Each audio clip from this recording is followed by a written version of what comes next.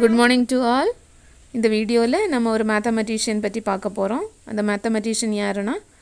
Georg Cantor இவரோட full name Georg Ferdinand Ludwig Philipp Cantor Georg Ferdinand Ludwig Philipp Cantor இவர் எங்கே பிறந்தார்னா send பீட்டர்ஸ்பர்க்கில் ஆயிரத்தி எண்ணூற்றி நாற்பத்தி ஐந்து மார்ச் மூன்றாம் தேதி பிறந்திருக்காங்க.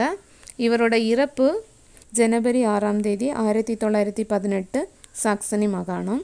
இவர் எங்கே ஒர்க் பண்ணுறாருன்னா காலி யூனிவர்சிட்டியில் ஒர்க் பண்ணியிருக்காங்க.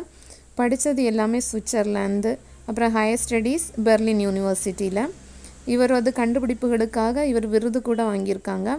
அதாவது மிக உயரிய விருதான சில்வெஸ்டர் பதக்கம் வெண்கல பதக்கம் ஆயிரத்தி தொள்ளாயிரத்தி நான்காம் ஆண்டு வாங்கியிருக்காங்க.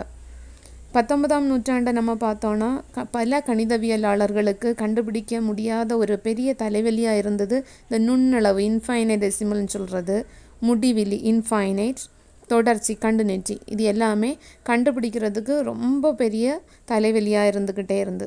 இப்போ தொடர்ச்சி அந்த கண்டுநெற்றி பற்றி ஓரளவுக்கு நிறைய பகுவியல் நிபுணர்களை கண்டுபிடிச்சிட்டாங்க. அதாவது ரொம்ப ஃபேமஸ்னு சொன்னோம்னா இந்த கால்ஷி காசி வியட் சிட்ராஸ் இவங்க எல்லாமே அந்த தொடர்ச்சியோட டெஃபினிஷன்ஸை எல்லாம் ஓரளவுக்கு சீராக்கிட்டாங்க.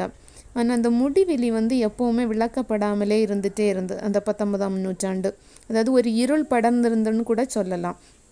இந்த இருளை நீக்கியவர் நம்ம கேண்டார் அது மட்டும் இல்லாமல் இவரது தே தேற்றங்கள் அதாவது தியரம்ஸ்னு சொல்கிறது இருபதாம் நூற்றாண்டில் ஒரு புதிய சகாப்தத்தை உருவாக்கக்கூடியதாக மிக சிறப்பாக அமைந்ததுன்னு சொல்கிறாங்க இவரது கண கோட்பாடு கணிதத்தின் மேகங்கள் படிந்த பழைய கோட்டையையே இடித்துவிட்டு புதிதான கணித செயல்பாடுகளுக்கு ஒரு அடித்தளம் அமைந்ததுன்னு சொல்கிறாங்க ஸோ இவரோட வாழ்க்கை வரலாறை பார்த்தா இவர் ரொம்பவே ஒரு ஏழ்மையான ஃபேமிலி ஒரு பதினஞ்சு வயசுக்கு முன்னாடியே கணிதத்தில் ஒரு அதிக ஈடுபாடு இருந்தது.